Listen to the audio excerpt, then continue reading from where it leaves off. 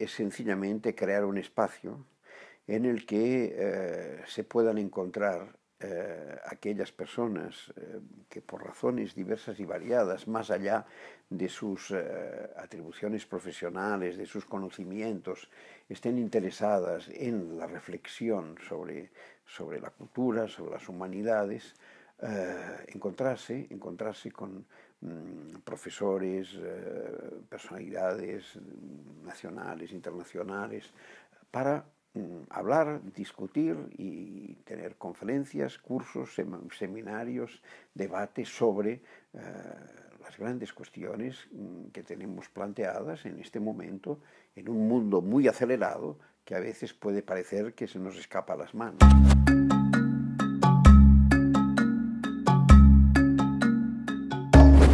Es hacer seis cursos eh, que tengan como eh, objetivo introducir en determinadas disciplinas del saber, de la cultura, de las artes. Eh, en cierto sentido, son claves para entender. Tener la referencia básica si quieren entrar en uno de estos campos. Este año podía ser otros, pero este año hemos escogido em, el cine, la música, la filosofía, la economía, la biotecnología y la escritura explicar qué es cada uno de estos espacios, explicar un poco su historia, explicar los problemas que ha planteado y explicar el futuro que se le, que se le espera.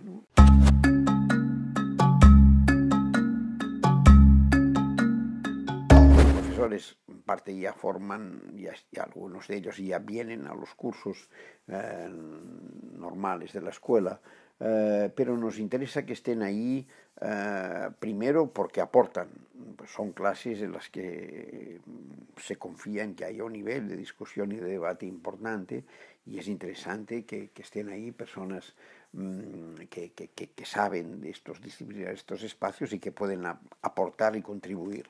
Segundo, porque nos sirvan de, intermediarios, para decirlo así, eh, con los jóvenes. Hemos pensado que quizás si los eh, cursos finales de bachillerato empiezan a tener algunas señales. Bueno, y además creo que podemos complementar un poco el déficit de humanidades que sufre crecientemente eh, la enseñanza en este momento.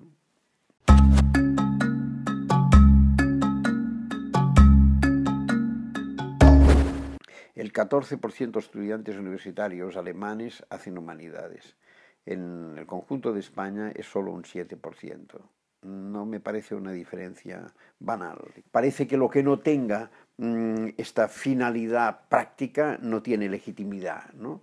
Y, a mí me parece que esto es un error eh, considerable, eh, porque las humanidades, precisamente en momentos de cambio, son más necesarias que nunca porque ofrecen mm, la posibilidad de una perspectiva, de una distancia, de mirar las cosas no eh, con la, mm, eh, digamos, esta especie de, nerviosismo, ¿no?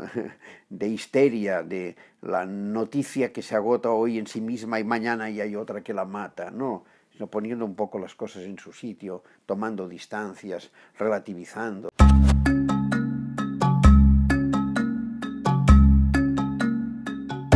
tengo la sensación, y el, propio éxito de la Escuela Europea de Humanidades es una pequeña señal de ello, eh, que, mucha parte de la ciudadanía se está dando cuenta de que se necesita algo más eh, que el discurso del hombre económico, que, que el hombre es algo más que un, que, un agente económico, que la vida es compleja, que la experiencia humana eh, es muy complicada, que necesitamos el sentido, la vida tendrá o no tendrá sentido, esto se puede discutir, pero el sentido es necesario para la vida, de alguna manera tenemos que compensar nuestra precarísima condición de seres contingentes que, que nacemos, eh, crecemos y morimos en un periodo ridículo al lado de la inmensidad del universo, digamos.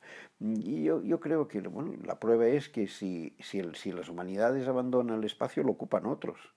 Insisto, creo que hay demanda creciente de, de humanidades.